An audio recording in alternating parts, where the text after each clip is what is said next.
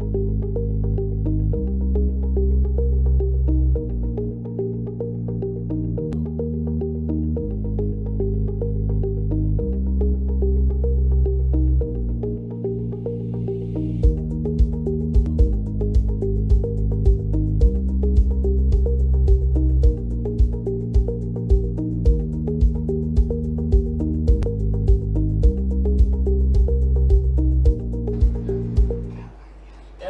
ndizera ko mwaramutse neza cyane mwese abakunzi ba BTN TV uyu ni wa mwanya maze kumenyera nyine ko buri gihe ku isaha ya saa tanu mba ndi hano ndi kugezaho showbiz updates. Eh, ni amakuru aba agezweho mu myidagaduro hano iwacu mu Rwanda ndetse rimwe na rimwe tukambuka no hakurya y'imipaka tukareba uko biba byifashe ah, mu myidagaduro yaho. Nk'uko bisanzwe rero ah, uyu munsi ni ku wa mbere itariki ya makumyabiri n'ebyiri murabizi ukwezi kwa kabiri turi kugerera turi mu cyumweru cya nyuma ndizera ko rero biri kugenda bimera neza turakomeza kuzirikana gahunda ndetse eh, n'ingamba zose zihari zo kwirinda icyorezo cya covid. Nyaboneka ntabwo kirashira ntabwo kirarangira nubwo ejo bundi badufatiye imyanzuro yoroshya nanone izindi gahunda zimwe na zimwe ariko ntabwo bikuraho ko kwirinda ah, byo bikomeza kuko icyorezo kiracyahari.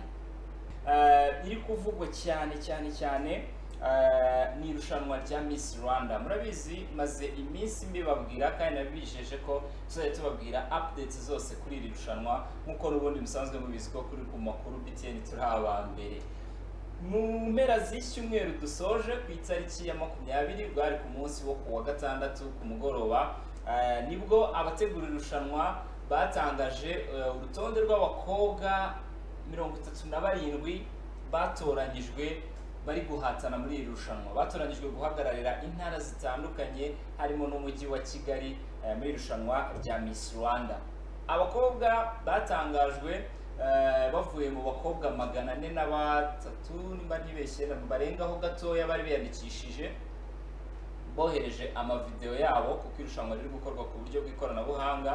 Eh, muri abo magana ane barenga bohereje amavideo hatoranyijwemo abakobwa mirongo itatu na barindwi bonyine. Nibo batoranyijwe. Ah, jeff reka adusubirize inyuma eh, duhere ku ifoto ya mbere. Yes muri kuyibona.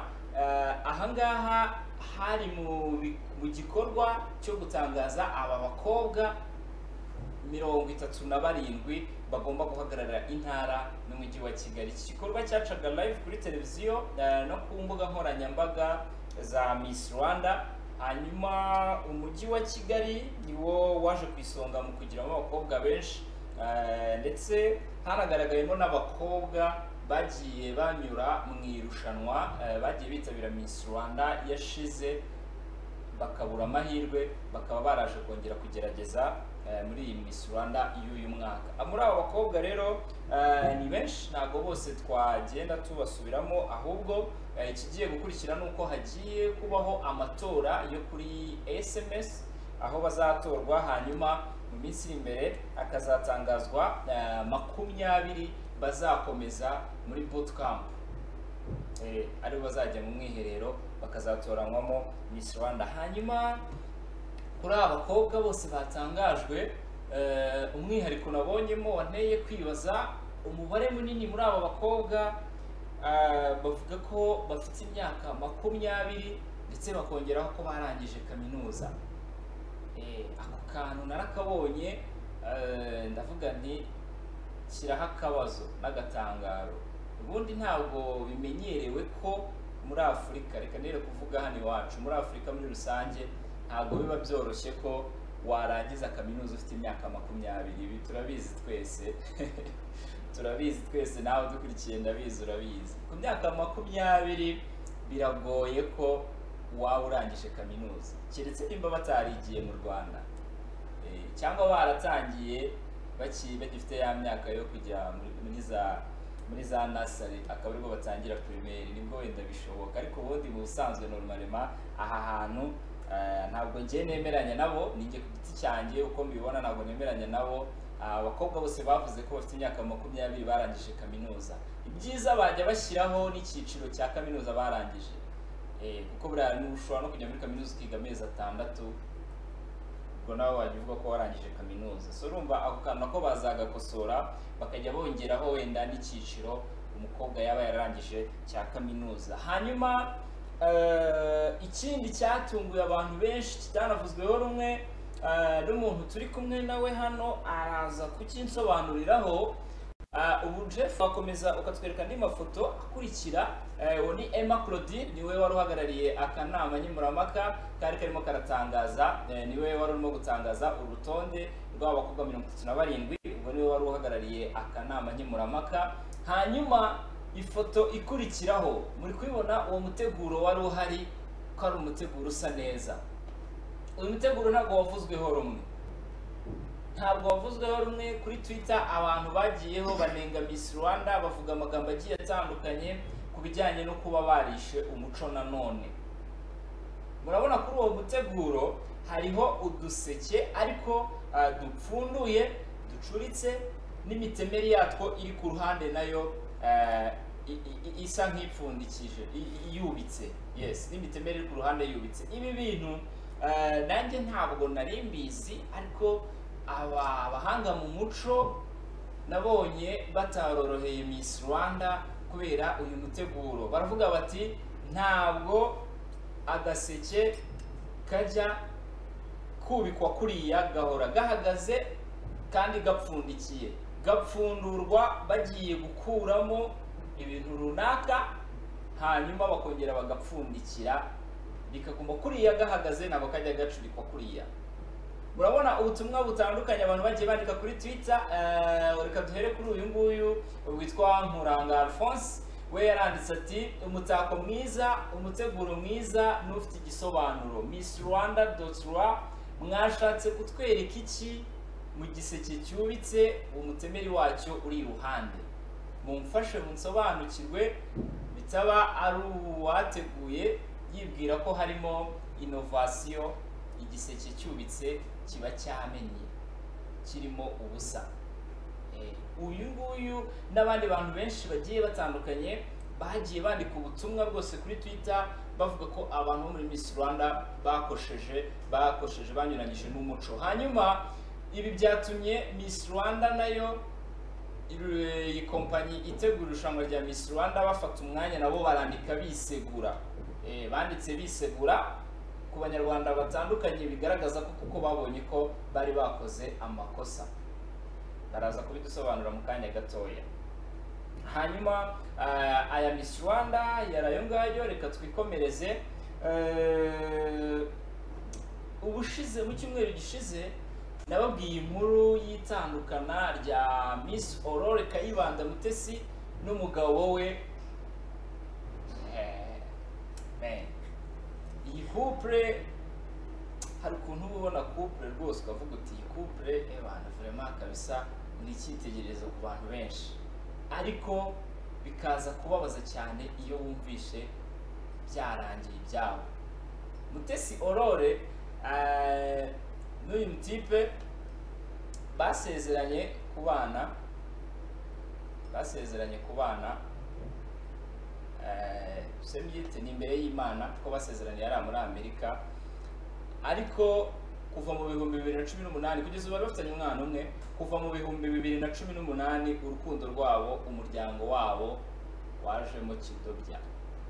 Eh, ibintu bitangira guhwihwiswa gutyo bigatangira kujya bivugwa ariko abanyamakuru itangazamakuru ryagerageza kubivugaho bo bakabacecekesha bakagaragaza ko ah, umubano wabo ukimeze neza. Ndetse nimba murabyibuka neza hari igihe eh, Aurore yigeze gusiba konti ye ya Instagram eh, asiba konti yose. Abantu bati umubano we ntabwo umeze neza n'umugabo we Mbabazi Egide ariko arongera aragaruka agaruka kuri Instagram abantu bati ibyo mubivuga mwabikuye he? N'ibiki n'ibiki? Biragenda biratuza biba iyo ngiyo. Mu cyumweru gishize ni bwo nakugejejeho amakuru y'uko iyi couple yamaze gutandukana. Ndabizi hari abanyandikiye muri mwebwe munkurikiye mumbwira ko ayo makuru atariyo Eh, hari abanyandikiye rwose bambwira nabi bambwira ngo mba ninjiriye ubuzima bwa couple y'abandi ariko ntabwo ari ukubinjirira. Ni abasitari baba bagomba kuvugwa. Kuri ubu rero muri iyi mpera z'icyumweru gishize mutesi aurore yashyize ukuri hanze agaragaza ko koko yatandukanye na mbabazi egide. Urukundo rwabo barushyizeho akadomo. Ubu rero iki ngiye kukubwira ni impamvu nyamukuru yatumye aba bombi batandukana. Eh, yari yaragizwe ibanga ariko buriya byose bijya hanze. Umusitari aba ari umusitari moshere mbabazi egide mu mwaka w'ibihumbi bibiri na cumi n'umunani. Bivugwa ko yakoreye urugendo muri jamaica. Hanyuma mu kujya muri jamaica aza kugirana ibihe byiza n'umukobwa tutazi.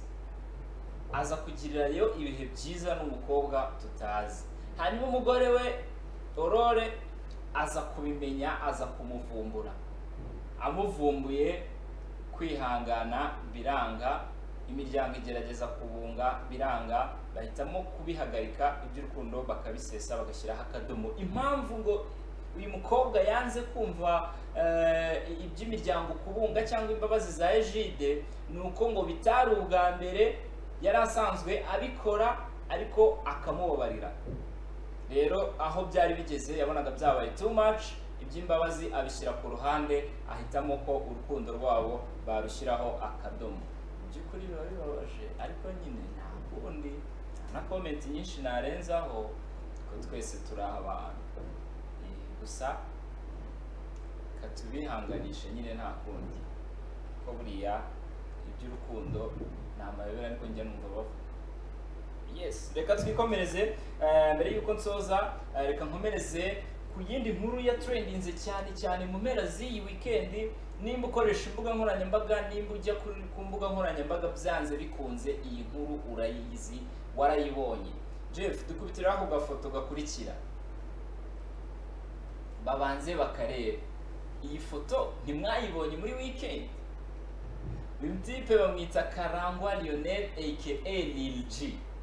Eh, hanyuma iyo foto ye yari amaze imyaka ibiri afite dread yari afite dread ku mutwe eh, ubona nyine agaragara ukuntu nk'umugentleman afite dread. Nyuma yaje gukuraho dread ashyiraho umusatsi umeze gutyo eh, awufunga gutyo nyine muri kubibona namwe ibi rero ntabwo byavuzweho rumwe n'abantu bagiye batandukanye ah, aho abantu bakoreshaga indirimbo y'uyu mutipe yigeze guhitinga kera yitwa nimba umugabo bagafata bagafata amagambo ya nimba umugabo bakayahuza n'iyi foto aho yavuga nimba umugabo nzerekana itandukaniro ry'abagabo. Hanyuma barepostingaga bakavuga bati ubwo nyine yatangiye kwerekana itandukaniro ry'abagabo. Nawe ufite uko wabifashe cyangwa ufite uko wabibonye ufite n'uko ubyumva eh, ku bwanjye numva ko ari uburenganzira bwe ariko tuba tugomba kubivuga nk'ibintu bya trendinze muri showbiz nyine muri iki cyumweru.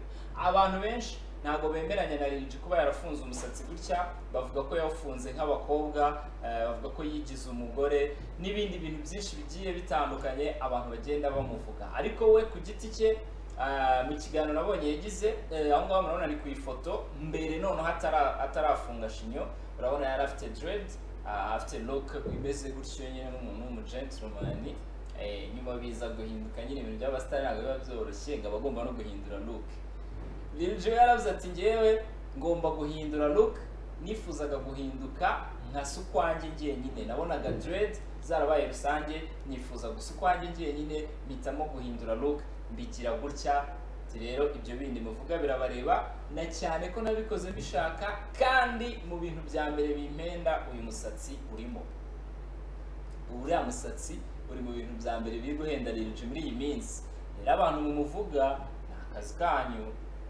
Afite uburenganzira bwo kwifunga uko ashaka na cyane ko ari umusitari reka dusoreze kuri iyi nkuru ya nyuma. Eh, ni inkuru y'umugabo uzwi cyane cyane cyane hano mu rwanda mu bakozi b'imana uwo nta wundi yitwa eh, apotre gitwaza. Ni apotre dr gitwaza paul.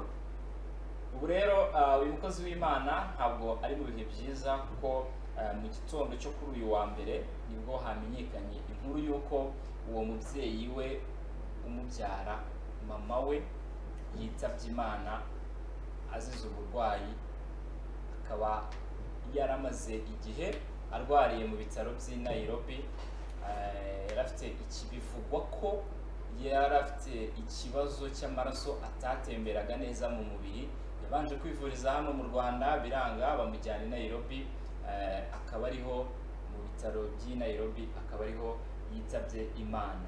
Ni inkuru yamenyekanye mu gitondo cyo kuri uyu wa mbere eh, ku butumwa uh, apotre gitwaza yacishije kuri stati ye ya whatsapp agaragaza ko umubyeyi we eh, yitabye imana. Cyangwa muri kubibona eh, yanditseho rip mama tuzagukumbura ngayo nguko ndabizi muramukunda cyane umukozi w'imana.